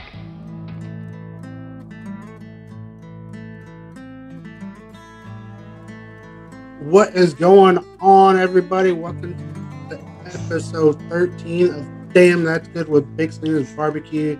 I'm your host, Randy Salinas, joined by always my brother, Junior Salinas, and of course, the mad scientist behind the scenes, Chris Bustos. Uh, we got a good, fun, jam packed episode in for you. And we got a special guest coming on and talk about his products that he's got. Uh, so, without further ado, let's get this thing started. Let's do it. Uh, so, uh, Junior here, of course. Let's, last episode, we went over, uh, of course, our shout outs to our small businesses and our small businesses, everyone that's kind of got our sauce in there. Uh, we had, we went over our Terrell, uh, the cook off out there. We talked about some barbecue restaurants through there. And of course, we had the NFL talk with the draft being right there. But uh, I don't want to waste any time. We've got a jam packed episode today. Uh, let's jump right into it, Randy. And let's first let's thank our sponsors. Yeah. Uh. Yeah. Put your hands together, everybody. It's fucking Troy time. Put your hands in the motherfucking air. Troy time. Troy, Troy time. Troy time. Troy, Troy time. Troy time. Troy, Troy time. Troy time.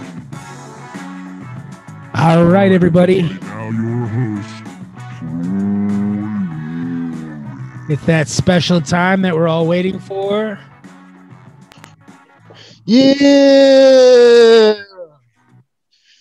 It's Troy time. We are going to talk about the fights this last weekend. Um, we'll just jump right into them unless anybody's got something to say real quick. No, No? All right. Well, our first fight of the night, well, we're, just going to stick to the main card. Our first fight of the night was uh, Edson Barbosa versus J- Shane Burgos. This was actually a good fight. Are you not going Um, to talk about any of the Bar- prelims? Uh, I can. Did you watch any of them? I watched the last one. I didn't really get home until right in time to watch the main card. No, yeah. Uh, you're you fine. can talk. No, you watched them. You can go ahead. I did. and- I did. I did. us- All right, let me pull it up then too. I gotta look it up. all right. I mean, I mean, Okay. uh, prelims were garbage. You didn't like them? I just thought the thing that I really dug, and it's I get I don't know if it's because there hasn't been, you know, obviously this was in Houston, so Texas is a little opened up more than everybody else in the world. Uh, and just the crowd was freaking lit, dude, from the beginning of the show. Like the first fight, the crowd was so into it. Yes. Yeah. Oh, yeah. I mean, it was pretty insane how into it the crowd was, but I think that's what made this fight so exciting because really, when you look at the card, it wasn't ex- an exciting card. There wasn't huge names on the card. Tony Ferguson. Yeah. Yeah. Get to that. Cooley. We'll get there. I mean, Okay. Tony. Yeah, we'll get there. Okay, go I- ahead. You, I, I stole your thunder. I apologize. Go ahead and get into the Edson Barbosa fight. That's my bad. No, we can. I mean, if you want to talk about the prelims, the only one, uh, Shaka Ray, Souza. Yeah, he got his arm broken, and it was, it was. The, I've never heard some bone break before. That was the first time in my life that I actually heard a bone break. It was so Shout out to the audio. dude it was so loud oh my god like i didn't i i turned my head but i still heard it and it, it was just shocking shocking Yeah. So and what do you guys think about Andre Muniz? i Wow. mean like they he controlled that's the thing like Jacaré used to be one of the best in uh in that division and he was very scary everybody was like kind of afraid of him not only was he deadly with his hands but his submission game was insane so he's a great guy on the ground but but Andre Muniz like he controlled that whole fight and during a scramble uh jacques arm got caught in an awkward position and he clamped down on it and body weight and leverage and it snapped nasty Yeah, fractured humerus. yep Nasty. and they they replayed it and you could hear the audio like it was it was just crazy Yeah, that was definitely crazy. But I mean, we get into the main card and there's some crazy stuff too. yeah go ahead and get Um, into the Edson Barbosa Shane Burgos fight because that was also something i've never seen before in a fight ever Yeah, that was a pretty crazy fight. Um, Edson Barbosa um, hurt his leg. His leg was bleeding. Yeah, but he was.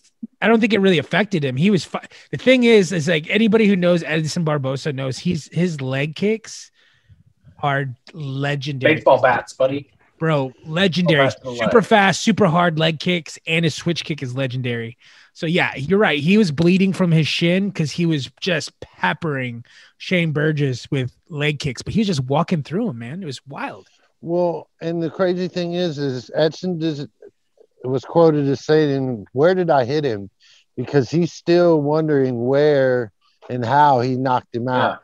It was a six second delay, man. Yeah, yeah. He punched him, and then six seconds later, I mean, his the guy finally. was standing up. Yeah.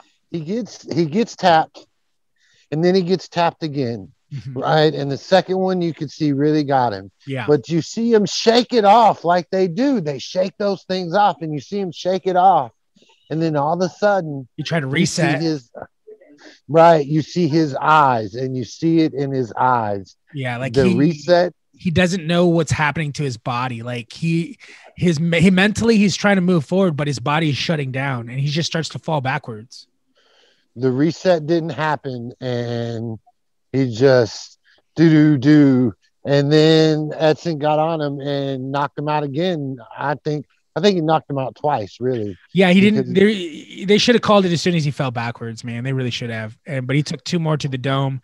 But I think what it what it what it ends up being is just a collection. It was just the damage that because Edson uh, Ed was was peppering him not only with the leg kicks, but they were both like getting in good shots. It was back and forth. Like Shane Burgos was still in that fight, man. But the the accumulation of the damage done just set in and and it was a delayed reaction like you said like i've never seen anything like it before he delayed knockout like you said six seconds after the damage was done uh, from the last couple punches he fell backwards yeah, it was it was pretty crazy to watch. Um, some pretty crazy stuff's been going on in the UFC. It's been making it more interesting. I'll tell you that much. Um, but yeah, Ed, Edson Barbosa, another great, great matchup, and look forward to seeing him in the future. Um, next, we go to the women flyweight division, and we had Katlyn Chookagian yeah versus Vivian. Ar- I can't even say her name. I could say it Saturday because they were pronouncing it, but you got to roll that R, and I can't roll that R. Bustos, why don't you roll that R for me? all right let me see uh There's uh, yeah, i'm not very good at Vivian it Araujo. there you go good job There you go. That's pretty close. Um, Yo hablo español muy bien. yes the main thing that I took from that fight uh, is Katlyn Chookagian. Every time she got hit or she hit somebody, she was going ice, ice, ice. That's Ice. yeah Dude. she's like Monica Seles You think they uh they you know without the crowds that the the sound engineer guys have been running the sound, the mics a different way. And now that the crowds are back, you can hear everything that's going on. And I believe that. I believe that. uh, 100%. I think there's, I mean, it, for the better. Yeah. But Katlyn Chookagian, I mean, she took control of that fight. There was no real no no real controversy there. She she won that fight fair and square. Yeah, she kind of a Mhm. She's one of those people that just like out hustles the competition. She's gonna try to outpoint you, but uh, she's a boring fighter. I mean, I wouldn't say that. She just doesn't have power. Uh, she's a taller fighter. She just doesn't have the power. Like the girl that she was fighting had had some muscle mass to her, and, and she was really digging into her punches. But the thing, what happened was in the second round, she takes her down and almost finishes her with some really nasty um, submission attempts. But Chookagian was able to fight it off and the other girl just just gassed out man she just couldn't recover and she was hanging on the rest of the fight and Chookagian was just peppering her with her maybe not powerful punches but just accumulating damage over the rest of the fight man and and you know she was hitting her with some good combos and doing the Monica Seles grunts like you were saying Ice, ice. I was waiting for an ah you get in there too. Ah you get. But so yeah, that was you know honestly a pretty boring fight. But uh, I mean that's that's Chookagian. That's what she does. Um, that's why she's number two, and I don't think she'll ever win the title. I think she's got a shot to win the title, but I don't think she'll ever win it. I don't think she's got that oomph to get her over that mountain. Um, but she's definitely got the name, you know. Um, she is a name in the UFC. So if they need to put a name on a mean, she was card, number two she was number two before the fight though you know what I mean so she's she's been bringing it definitely been bringing it. But that's what I'm saying. You know, you know how UFC is about number two. Sometimes the number two spot and the number one can uh, be forgotten about for a little bit because they give the fucking number three guy a shot. You know, UFC's never been consistent on their numbers and giving the next up guy a shot. Sometimes the next up guy gets the shot after the next title fight, you know. And I'll, I'll talk about it at the end, but there's some stuff going on with Miocic and all that stuff. Um, Jon Jones, and they're having that kind of, well, does he deserve it now, or does do we give Jon Jones? Does Jon does Jon Jones want to fight? Well, if he doesn't want to fight, then Miocic gets the winner of Ngannou and Derek Lewis, right? And you would think Miocic would get his rematch automatically, but they're going to run Ngannou, Derek Lewis before they run Miocic. They're going to give Miocic whoever wins that fight. But I, I'm okay I with that. Digress. yeah I I think it's gonna go yeah, it's gonna go to Derek Lewis and uh, the winner of that You you think I got a poop's going to win? no Mm-hmm. You- Oh, you don't think Derek Lewis is going to win? No. Oh, I wish I got, got a poop would win. I love I got a poop. That's his nickname. If you haven't Yeah, listened to yeah. show before, uh, it's not his nickname Uh, his nickname is Black Beast yeah. But my personal nickname doesn't matter for him is I gotta poop you just like saying because no, because he says shit. I say poop. the man of the people Um, but I, I'm trying to censor it a little bit. But he's famous for saying some crazy stuff, and one of his most famous lines is, "You know, Derek Lewis, how do you feel after the fight? You were holding on to your stomach." He was, like, "Yeah, I got to take a shit." the funniest thing I've ever heard after a UFC fight. But anyways, I digress. I like the guy that called out Elon Musk. I don't know how to Tesla delivery. yeah, he needs his car. Yeah, Um, excuse me. which is the next fight you should talk about. yeah yeah All go right. ahead and skip the other one What, Tony Ferguson. bantam- yeah the Yeah, no one cares about the bantamweight. yeah that was Yeah, well, I wanted to say this much. on this one. I wanted to say this. Matthew Schnell was a cocky little son of a bitch. Why do you think he was Doing cocky? all oh, he's just doing the little fast fake like he's gonna do something and he never does anything and Well, he's he he's he outstruck that dude, but then he lost. But he lost that fight. Yeah, Yeah, well, the other guy came in. I mean, he ended of a up only, takedown. he ended up only being a pound overweight, but he at before the weight cut was ridiculous, bro. He had Yeah. what? What did they fight at? Uh, they were bantamweight, so was it one thirty five? 135. He was over 160. One pound. He had a cut One- from 165. Yeah, he came in at one thirty six. Yeah, but Isn't that what it was? the qu- the the the cut started at 165. That's what I, I'm tired of these bantamweights and their biopics on the UFC site looking like heavyweights, and then when they show up to the fight, they're overweight. Yeah. Well, most guys show up to the fight overweight. I mean, after No, they the weigh-ins. Well, yeah, that's what you're supposed how you're supposed to do it. Yeah, But- hydrate. But all right, well, let's get into the lightweight division, the co-main event of the evening. Um, you got El Cucuy, Tony Ferguson versus Beneil Dariush, and uh, Dariush is actually a good fighter. Um, he's under the radar. Uh, he's very American. He's like a Stipe Miocic. His name does not go with the way this man sounds. Um, Well, he was born in Iran. Yeah. Well, he's very sounds very American, but because he was he Um, lives here and he he lives in California. That's just like you claim Irish, like you sound American. yeah, no, no, no, no, I get that. But what I'm saying, his name, his name sounds very foreign. So when he starts talking, I don't. It's weird that he expect- speaks American. Yeah, yeah, boy. And he buys American cars. Let me tell you what. But This anyways, is- okay, so he beat Tony Ferguson. I just want to talk about this. Yes. Joe Rogan gives him a chance. He beats Tony Ferguson. Big upset. Yes. Does everyone agree Uh, with that? I don't know. No, I I feel like would Tony say big Ferguson's definitely on his way down. I think Yes. people were hoping that he'd be able to. After fucking- this fight, yeah, for sure. people were hoping he'd come back strong, but it just it's so sad. They fall fast, man.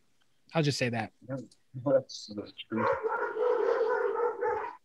but yes, the Gave him an opportunity to call say, somebody out, and he called out our boy Elon Musk. Elon. Elon Musk. Why? Because he ordered his Tesla, and it's six months late. Eastwood. Sorry, I have a little technical difficulties.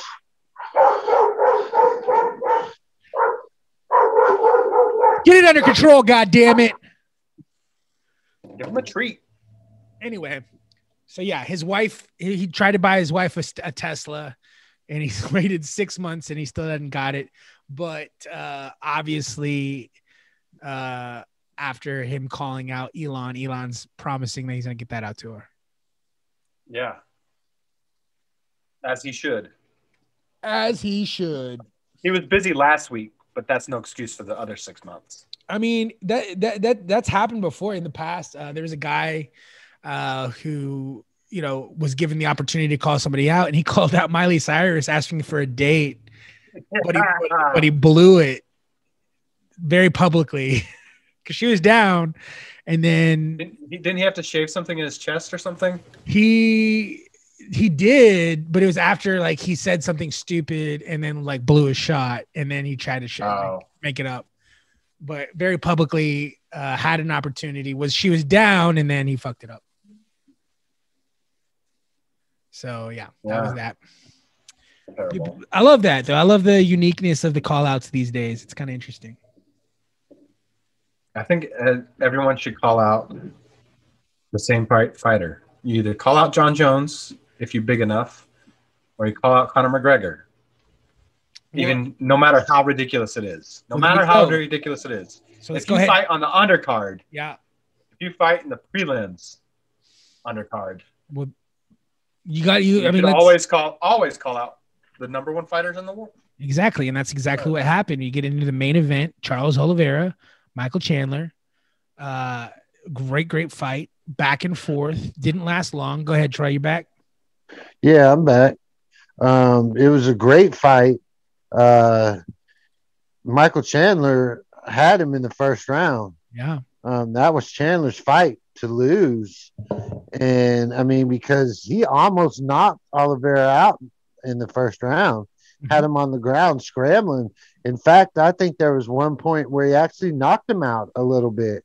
And if the ref would have been paying more attention, could have stopped that fight. No, Now, I don't think he was a ever in a position like here. He had to stop it. But one, I feel like the mistake that Chandler made was he kept on trying to be the aggressor and going on top of him and doing some ground and pound. He should have just made him get up. Like the fact that he kept Yeah. on pressing, I'm like, dude, what are you doing? Make him stand up with you. Yeah. He didn't do that. Oliveira got through that round, and then and then things changed very quickly. Yeah, in the second round, I mean, Chandler got teed up, teed up bad. Um, those hands, Oliveira put them hands on him, and you got to give it to Oliveira. I mean, it was a a fight to remember, and I and I didn't think I would see something like that on this card. Yeah. And I when I it's saw it, one of the coolest parts about it is that it is the longest uh point from a debut to a championship in UFC history. really, Yeah, he's got he's had For 20 Michael Chandler or no for uh, Oliveira. He's had 28 fights in the UFC to get to a championship. well, you know, Oliveira's been His overlooked over debut the was years. on Versus, just to give you context. for WEC or UFC? UFC. What? I gotta look at this. I gotta look at this. Yeah, it's pretty insane, man. He's had moments just opposite of Michael Chandler, who joined the UFC last year. exactly. I mean, he did he did fight Eddie Alvarez on several occasions yep. in, Bell- in Bellator. Reigned three or four, three times. He was a three-time champion in Bellator. And I uh, mean, he beat he beat Benson he beat Benson Henderson, Eddie Alvarez. I mean, he beat a, some good guys. Absolutely, you know, and a lot of people, you know, he was definitely highly, highly touted as far as outside of the UFC. And uh, just like you were saying, Dean, like he, you know, Oliveira had the opportunity to call somebody out, and he said, you know, Conor, uh, you know, obviously focus on Dustin Poirier. That's your next opponent, and after that, we can talk. Depending on what happens. So even Yeah. still to this day, that's still like the biggest match. I mean, that's the biggest money grab situation you can get yourself into. In the UFC. Yeah, for sure. Mm-hmm. And and and outside of it, it looks like uh, Floyd Mayweather's still trying to talk shit and see if he can get another fight with Conor. I thought Floyd Mayweather is already uh, booked. He is, but he, I post, mean, post retirement. absolutely, and he's looking past that opponent and trying to get another money grab.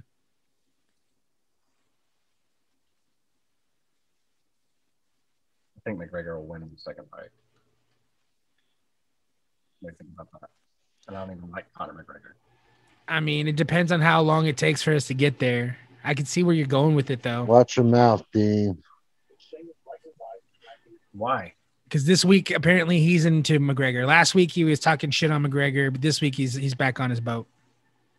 When was I talking shit about McGregor? He's like, What I, I don't like McGregor. about? McGregor's not in my stable anymore.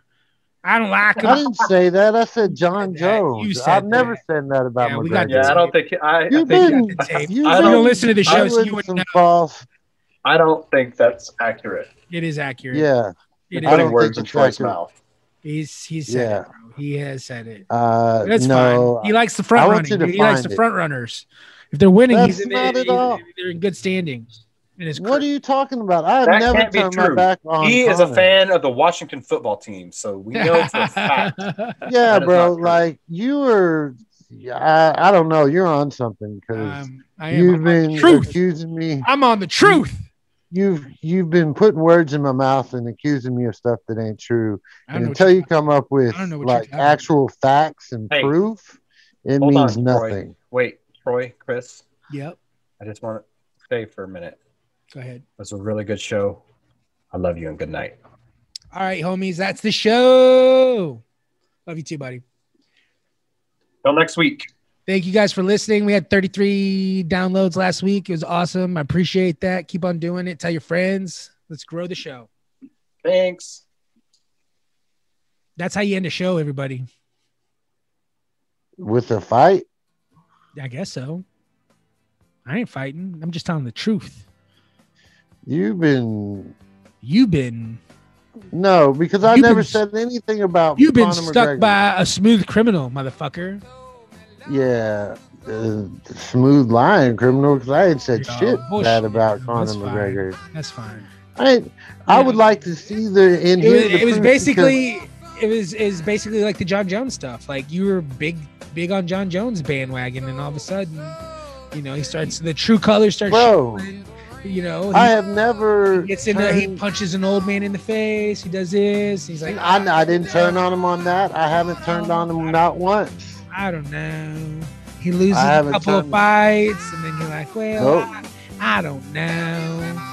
I, I just he's not he's I mean I like Conor, but he's not like my top guy. I think you're just trying to be a bully right now. I mean, I like him. I like him, but he's just not my like top guy. So is this where is this where stuff you say automatically is true because you say it? I mean, Is that what it is? like I said, you don't listen to the show, so you don't know. But it's on tape. You can go back and either the fans, you guys want to go back and listen. I would like you to prove it to me. Bullshit. Go ahead I'd like it. I would like you to prove it. Find it and you prove it. You prove it, bro. You prove me wrong. Go back and listen to the 45. Okay, what episodes. All of them. You say it. All of them. Tell. You're can so- listen. You can listen to every episode, and you can just tell that you're, You're so a of fan of Conor. You're you're so full of shit. You're so full of shit. That's right. All right, homie. You have a good one. All right, Happy love you, birthday, homie. Happy birthday, Ireland. Happy birthday, Ray. Thank you for listening. Um, I would ask if we were going to play frisbee this week in McKinney, but it's raining. Raining all week, y'all. That's right. Someone But oh, me long ago. I might come see you sometime this week. There's a calm before the storm. I know it's been coming for some time. I want to know Have you ever seen the rain? Yeah, I mean, All right. I'll see you later. right, all right, later, bro. Bye. Sit, Ubu, sit. Good dog.